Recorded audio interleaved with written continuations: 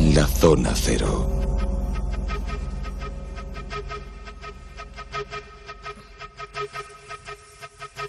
Hablamos de Israel una vez más eh, en los monográficos y de los muchos misterios de la historia de este, de este pueblo, de esta cultura, de esta religión. Lo hacemos, como decimos, en el monográfico con Jesús Callejo. Muy buenas. ¿Qué tal, Bruno? Muy buenas noches. Con Carlos Canales. Hola, ¿qué tal? Buenas noches. Vamos a intentar encontrar las diez tribus perdidas de Israel. Un trabajo duro. trabajo duro. Esto sí que es un enigma histórico, ¿eh? bueno, ¿y a qué nos referimos con las diez tribus perdidas de Israel? Eh, bueno, pues nos estamos refiriendo a una parte histórica y una parte mitológica, porque aún hoy día todavía hay gente que sigue buscando esas diez tribus perdidas, a pesar de que su diáspora ocurrió hace muchísimo tiempo, ni más ni menos que en el 740 a.C. Pero siempre quedó esa reminiscencia de que en alguna parte estaban en una especie de paraíso dorado, esperando el mejor momento para manifestarse y reagruparse, ¿no? Con ese gran pueblo judío que en su época fueron cuando vivía David o el rey Salomón. Bueno, pues el hecho es que por distintos avatares, ahora contamos un poco lo que es la génesis de la historia, esas doce tribus de Israel, al final hay diez que desaparecen porque son capturadas, son esclavizadas y se mezclan con la población, pero siempre queda un poco ese residuo, ¿no? Es decir, realmente desaparecieron, fueron ejecutados todos los miembros de esas diez tribus, o qué ha sido de ellos. Entonces surgieron eh, distintos iluminados, distintos videntes, distintos profetas a lo largo de la historia, asegurando cada uno de ellos que tenía los datos precisos para determinar dónde estaban. Así que te puedes imaginar que se hablaba de lugares de Asia, se habló de lugares de África cuando apenas era conocida, y luego cuando se descubre América, pues cómo no, mucha gente empezó a ubicar esas diez tribus perdidas en América. O sea que esa es un poco la situación. Estamos hablando de que, vamos a hacer una pequeña introducción si quieres, que Jacob, el nieto del patriarca Abraham, tuvo doce hijos con cuatro mujeres diferentes, y que esos doce hijos dieron lugar a esas eh, doce tribus. Es decir, por una parte, diez tribus en el norte, acordaros la de Rubén, Simeón, Leví, Sacar, Zabulón, Dan, Neftalí, Gad, Aser y José, casi, esto casi había que aprenderlo de memoria eso, porque igual que los reyes godos. Exacto, estaba pensando en la lista de los reyes godos, que es igual, ¿no? Y las dos tribus en el sur del territorio, que era Judá y Benjamín, que formaba, bueno, pues lo que es el típico reino de Judá con Jerusalén como capital. Entonces, a partir de ahí, ya sabes que eh, el reino de Israel como tal, pues no duró mucho tiempo porque tuvo distintas invasiones y una de esas invasiones fue ni más ni menos la de Salmanasar V, en el año 740, que coge pues a diez de esas tribus ¿no? que no dejan rastro porque son deportadas por este general asirio y a partir surge a partir de ese momento surge el mito es decir se sabe que las lleva a Siria se sabe que las distribuye por distintas zonas de hecho su sucesor Sargón II eh, bueno pues lo que hace es que vuelve otra vez a dispersarla por distintos lugares precisamente para que no haya rastro para nada de su enemigo, que su enemigo era Israel, y este monarca deporta en el 722 a la región del norte del Éufrates a 27.000 miembros de la clase alta de Israel, pero con esa misma finalidad. La finalidad era que desaparecieran en las brumas de la historia y en las este, nieblas del mito. Hay que decir que este, esta práctica era muy común entre los pueblos del Oriente Medio y era muy común eh, y se utilizó, de hecho, hasta el Imperio Bizantino, que cambiaba poblaciones constantemente de un lugar a otro para esa manera de desubicarlas, hacerlas perder su raíz y su entorno de vida habitual y de esa forma integrarlas en el imperio donde podían ser beneficiosas. No sé, por ejemplo, es bien conocido, por ejemplo, que cuando el, general Visario conquista Cartago a los vándalos, la población vándala es partida, hace una parte es vendida como esclavos y aparte del pueblo básicamente masculino es enviado a Siria a combatir contra los persas. Bueno, pues esto era exactamente igual. Lo que ha dicho Jesús eh, está además refrendado por la Biblia, porque aparece muy claramente indicado en Reyes, el versículo 17, se dice claramente cuál es la zona en la que son ubicados en el norte de lo que sería eh, Siria, al norte del arco del Éufrates, muy cerca de la frontera entre Siria y Turquía. Nosotros podemos decir ahora, y es curioso, porque pese a todo lo que vamos a ver ahora que se ha hablado de estas leyendas, estas son de las leyendas que tienen algo de verdad, pero mucho de verdad, pero que sorprendentemente no tiene esa sorpresa nada que ver con esta historia, con la historia que realmente, según el mito, provocó la dispersión del pueblo de Israel, sino que la verdadera dispersión del pueblo judío que ha existido de verdad es muy posterior, como luego veremos, y dejó restos en todo el mundo. El caso cierto es que hay algo sorprendente, y es que realmente las huellas de esta separación de este núcleo del pueblo judío llevado al norte de las fronteras de lo que sería Irak y Siria, se puede seguir hasta el siglo XX. Dado que quedó una comunidad judía en, el, en el Kurdistán, que se ha mantenido viva hasta mediados del siglo XX cuando fueron integrados en el Estado de Israel. Eran ni más ni menos que 100.000. Hablaban un arameo de versión muy antigua y aunque no eran mm, judíos ortodoxos en el sentido propio, lo que sí que es cierto es que no había duda que lo eran, o sea, no eran en cualquier caso musulmanes, y habían mantenido una cierta identidad judaica a lo largo de los siglos y de los milenios en esas zonas montañosas aisladas y aunque habían perdido el, aunque el, idioma que hablaban era no exactamente el original sino un arameo muy modificado lo que no deja de ser cierto es que eran un pueblo semita que vivía en las zonas norte del Kurdistán, hablando un lenguaje que procedía del sur y manteniendo unas costumbres y unas tradiciones que eran claramente de origen judío. El Estado de Israel, a partir de 1948, los consideró como tales y los integró como comunidades dentro de la nueva nación. De hecho, ahí siguen sus hijos, sus hijos o nietos, porque han pasado apenas 60 años desde esa integración. Esta, esta rama de la, de la, del, judaísmo, mm, iba a decir norte, iraquí o de la zona del norte de Irak o sur de Turquía, se ha mantenido viva hasta hoy mismo. Con lo cual, ahí podríamos decir que en realidad las diez tribus no se fueron a ninguna parte, hayan estado durante todo este tiempo. Pero eso no, eso no forma parte del mito, el mito es mucho más bonito. Y el mito, en general, más que con las diez tribus perdidas con la invasión a Siria, es eh, a dónde llegaron los judíos cuando su pueblo realmente fue dispersado y su pueblo realmente fue dispersado porque es verdad que sufrieron terribles embates a lo largo de su historia, tuvieron tres elementos fundamentales. Uno, las dos rebeliones judías, la de Simón Bar y la de Simón Bar es decir, la última, la del hijo de la estrella, que es cuando los romanos barren literalmente eh, eh, lo que queda de la, Judea no independiente, pero que sí intenta serlo, y es cuando en esas dos grandes rebeliones del año 70 y la otra, la del siglo I, la del siglo II, la población judía se reparte a lo largo del mundo que ellos conocían, y el mundo que ellos conocían era el Imperio Romano. Ya había colonias judías en muchas partes de Europa y de todo el Mediterráneo, pero a partir de las dos grandes rebeliones es cierto que el pueblo judío se dispersa por el mundo. Y de esa dispersión ha habido siempre dos grandes núcleos, los askenazis, que nacen en Europa central, y los sefarditas, que tuvieron claro cuál era su origen, sus costumbres, y tuvieron siempre una unidad etnitaria eh, como pueblo. Pero hay otros muchos grupos que no, que se perdió su pista para siempre. Entonces, lo interesante es, ¿eso es una leyenda o es verdad? Claro, porque en la parte de verdad, los sefarditas, por ejemplo, que es, tan fácil seguir el rastro por las propias características del, pueblo judío, por las razones que sea, es tan fácil seguir el rastro de dónde han estado, por dónde han pasado, qué huella genética incluso hay en los lugares en los que ellos han estado, que parece increíble que algunas de esas tribus se hayan perdido totalmente. Pero es que fíjate qué extremos se perdieron. Ahora podemos empezar la lista, porque las hay desde, desde China hasta el norte de las montañas de la India, pasando por África. O sea, hay realmente comunidades de origen judío sorprendentes. Hay una excepción, que es la única que no vamos a contar hoy, porque realmente no es una tribu perdida. Es la única excepción de conversión que existe en la historia, que son los házaros, una tribu nómada turca que se asentó al norte del mar Caspio, que eh, a mediados del siglo VII, eh, VIII se convirtieron al judaísmo, caso único en la historia. Pues bueno, quedan sus restos, los judíos de montaña, los tats, de las montañas de lo que hoy son las repúblicas soviéticas de Georgia, Azerbaiyán y parte del Dagestán. Bueno, son apenas mil, un millar, entonces, conocidos como judíos de montaña han seguido permaneciendo en la región durante milenios. Y fíjate qué curioso que ellos utilizaban, sin embargo, como lengua ceremonial y como lengua escritura el árabe, hasta tiempos relativamente recientes.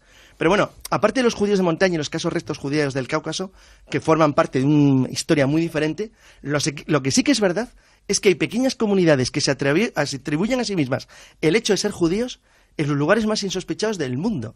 Entonces, la verdad que el misterio de cómo se han ido desentramando una a una esas pequeñas comunidades para de verdad demostrar Fíjate cosa más absurda. El Estado judío es uno de los pocos estados judíos, eh, estados étnicos que caen en el mundo. Entonces, intentar demostrar si eres judío o no es algo absurdo. Porque te puedes declarar judío, ya está, lo soy. ¿Quién me dice que no lo soy? Si he dicho que lo soy.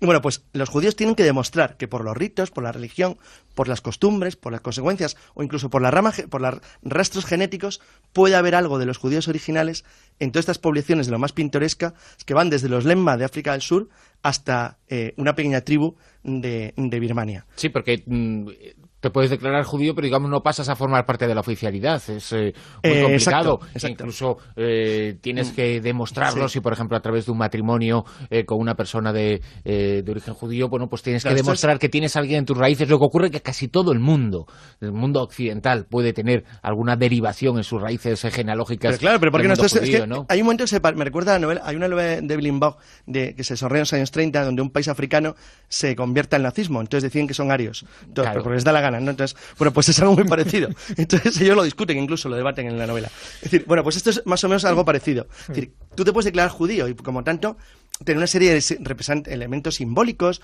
o de tradición que te puede hacer pensar que has podido tener un contacto. Pero claro, la diferencia es, ¿eso es porque ese pueblo tuvo contacto, por ejemplo, con mercaderes? Uno. Dos, ¿es porque hubo una pequeña comunidad allí que les influyó mucho y les convenció, estilo Tarzán. O tres, es que realmente son judíos de verdad, pero que por, por, contacto con la población de la zona han ido perdiendo poco a poco sus costumbres, incluso su aspecto, y se han ido mezclando con la población de la región, pero son auténticos judíos, como sea el caso de los falasas. Bueno, pues el desentramar esto les ha llevado a los estudiosos judíos siglos y ahora prácticamente lo tienen ya resuelto y podemos comentar algunos casos. Pues vamos a comentarlos. Hombre, lo bueno es que cada cierto tiempo aparecen noticias en la prensa donde aseguran que algunos grupos por ahí marginados en zonas remotas del planeta, pero que son judíos o practican el, judaísmo, se consideran que son descendientes directos de alguna de esas tribus. Entonces, bueno, pues surgen teorías más o menos absurdas.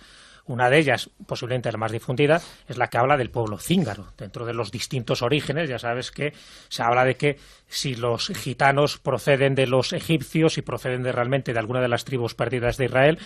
¿Por qué? Porque como eh, los cíngaros, dentro de su mitología, pretenden ser los herederos de Abraham y de Sara, pues ellos, bueno, pues justifican en parte esa laguna o esa, esa sequía de datos que hay para establecer un poco de dónde proceden los cíngaros o los gitanos. Bueno, pues dicen que podía ser de una de las tribus judías. Bueno, otras teorías que se han elaborado, por ejemplo, recientemente eh, se habló de que los actuales judíos etíopes pertenecían a la tribu de Dan, pero sin ningún tipo de justificación, por supuesto, ni de prueba, ¿no? En el Japón aparecieron miembros de la tribu de Cebulón, decían algunos, ¿no? ¿Por qué? Porque practicaban el judaísmo y pensaban que eran de la, de la tribu de Cebulón.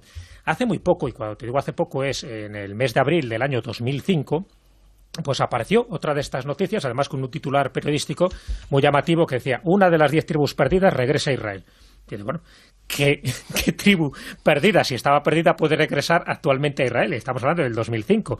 Bueno, pues eh, lo que hablaban era que se había identificado que este grupillo de, israelitas que se había encontrado por ahí, en, una parte remota, del planeta, estamos hablando entre en la India, pero cerca de la frontera con China, o sea que había una pequeña comunidad que todavía seguían practicando sus ritos judíos y la identificación que hicieron los expertos entre comillas, es que, que, pertenecía a la tribu de Manasés. Manasés, para que nos hagamos una idea, no está dentro de, esta lista que he dicho de estos hijos de Jacob, sino que Efraín y Manasés descendían de los dos hijos de José, que José sí era uno de los hijos. Entonces, bueno, pues los hijos que tuvo José que era Efraín y Manasés, se convirtieron a su vez en sendas tribus. Bueno, pues la de Manasés es la que ahora parece que vuelve otra vez a la palestra, diciendo que son los que regresan a Israel y que durante muchísimo tiempo estuvieron en el noroeste de la India, cerca con la frontera de China. Estaba en Birmania, son las tribus de Mina y en Mina Benasé. Y los dos rinden culto, fíjate, a un dios que le llaman Yahvé, es decir, muy parecido. La pronunciación, y efectivamente, ellos alegan ser judíos.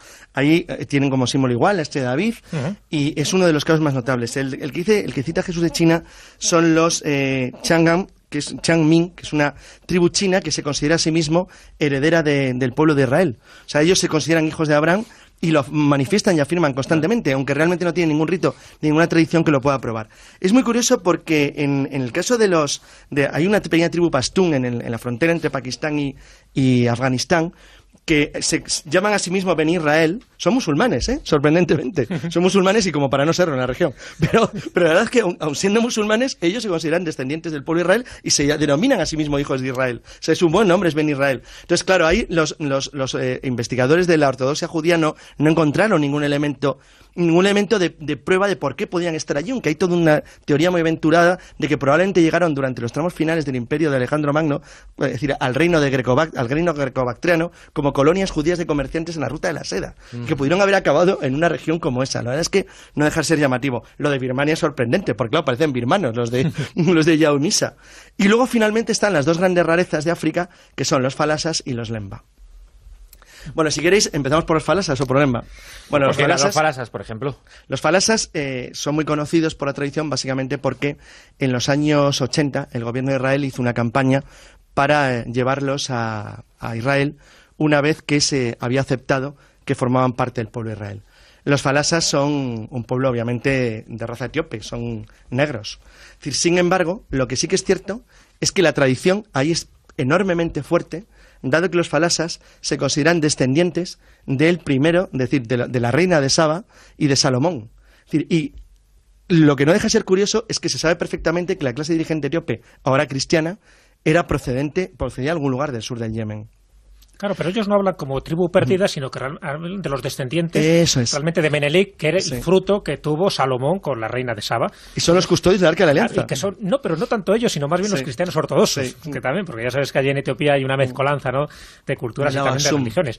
Pero sí, o sea, ellos no hablan de que sea una de las tribus perdidas, que sería lo más fácil, sino que todavía se van como más lejos a una mitología eh, más inverosímil, un poco basada en su famoso libro, ¿no? El Nebra Kegas, eh, que es el libro sagrado suyo, no es como la Biblia de los etíopes, para justificar que realmente Menelik tuvo descendencia y que en gran parte durante muchísimo tiempo fueron los custodios de la auténtica arca de la alianza. Luego ya sabes que ahora la versión que dicen que no, que ellos tienen una copia que les dieron eh, gato por liebre y que lo que están venerando o eso que se conserva en esta iglesia de Santa María de Sion en Axun, pues realmente sería una copia. Ellos dicen que no, pero como nunca la dejan ver, no la dejan analizar, pues a saber que no. Pero en todo caso la original, si está en alguna parte, nadie lo sabe, a pesar de que los eh, judíos falasas consideran que son. Y de hecho el gobierno de Israel a los falasas sí los considera judíos y los reintegró a todos a la sociedad israelí. Se los llevaron a todos cuando la gran hambruna etíope de los años 80 y lo, triste es que han acabado muy mal en general en Israel. Forman parte de una minoría muy marginada, con unos índices de SIDA muy altos. Y la verdad es que, a pesar de la integración de algunos de sus grupos, los falasas no han tenido. Son probablemente, con la gran capacidad que ha tenido de integración Israel de pueblos muy diferentes, que su único vínculo realmente a la religión, y poco, pues realmente los falasas no son el, el, grupo del que sentirse más orgullosos. Y luego queda lo más raro de lo raro de los raros, que son los Lemba. Porque los Lemba, los Lemba son una cosa realmente pintoresca. Los Lemba son una tribu surafricana que eh, sostiene que desciende de Israel. O sea, que son israelitas y que son judíos. Ellos se autoproclaman eh, judíos y, de hecho, ellos eh, afirman cumplir algunas de las normas básicas del judaísmo. Sin embargo, la situación de los Lemba, no solamente el lugar donde están, ellos además, el dios al que, al que, al que, al que, al que rinden culto se llama Wali, pero ellos afirman que fueron los introductores del, primer culto de un dios único en el sur de África, lo cual parece ser que es cierto. Lo de los Lemba no hubiera sido más que una cosa de chiste, sino hubiera sido porque eh, una de las leyendas Lemba habla de que ellos proceden de una ciudad muy lejana llamada Sena, que se encontraba a mucho tiempo de navegación en el mar hacia el norte.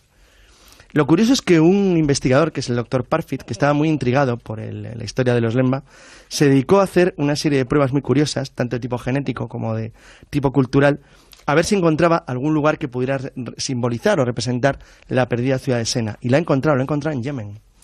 Entonces parece ser que sí, que es posible que los Lemba tengan eh, o, desciendan, o al menos una parte de su grupo dirigente, que luego se mezcló con la mayor parte de la población del sur de África, bueno, de su grupo, de una tribu perdida israelí que vivía en algún momento de la historia en, el la zona de Sana. famoso Yemen feliz, es uno de los territorios donde estaba la reina, de Saba. Exacto. Con lo cual se encaja un poco esa especie de, de, historia mitológica, ¿no? Porque evidentemente todo este tipo de cosas no se pueden fundar nunca en pruebas. Pero fíjate, si ponemos ya un poco las más disparatadas de las que yo he escuchado cuando hablan del origen o dónde podrían estar eh, alguna de estas diez tribus perdidas, se habló en su momento de que, claro, como no se encontraba por ninguno de los lugares conocidos, por más viajeros que reportaran noticias. Se habló de que a lo mejor estaban en el interior de la Tierra, la famosa teoría de la Tierra hueca. pues el capitán Simes comentó que ahí también estaban las diez tribus perdidas. Bueno, ahí los dinosaurios estaban todos metidos, ¿no? Haciendo una especie de comunidad ecológica. Eh, y, la más extraña de todas, es decir, cuando ya se empezó a descubrir África y se vio que allí tampoco estaban las tribus perdidas, eh, descartando, por ejemplo, la del libro de Mormón, ¿no? de Joseph Smith, que no habla de las tribus perdidas, pero ya sabes que dicen que los primeros pobladores fueron realmente también judíos. Bueno, descartando ese tipo de teorías, la más curiosa es un historiador, John Sadler, que la ubicó precisamente en Europa, que ya es temeridad, porque precisamente si algo había conocido era, era precisamente el continente europeo, ¿no? Pues él dijo con una serie de argumentos totalmente estrafalarios que eh, se convirtieron o parte de alguna de esas tribus perdidas de Israel se convirtieron en los sescitas, que cruzan el Cáucaso, en fin, eh, costean el Mar Negro, recalan en Alemania y allí se transforman en los sajones. O sea, que ya son ganas de... Sí, sí. Él intenta demostrar que los, que las tribus que los anglosajones tenían de unas tribus perdidas de Israel. Claro, claro. Pero dio tantas vueltas que no sabía cómo hacerlo. Era una cosa... bueno, de los tiempos ¿eh? de intentar demostrar el origen, bueno, el origen de pueblo elegido de los ingleses en el siglo XIX. Pero la verdad es que no deja de ser curioso el hecho cierto de que haya varias comunidades en el mundo a fecha de hoy que conservan símbolos israelíes, tienen unos aspectos que realmente difieren mucho de lo que nosotros Exacto, de, del un icono y de la imagen que tenemos. habitual. Interesantísimo este destino de las 10 tribus eh, perdidas de Israel ha sido el asunto que hemos abordado en el monográfico con Carlos Canales y Jesús Callejo. Hasta la semana que viene. Muy bien, gracias Bruno. Hasta luego.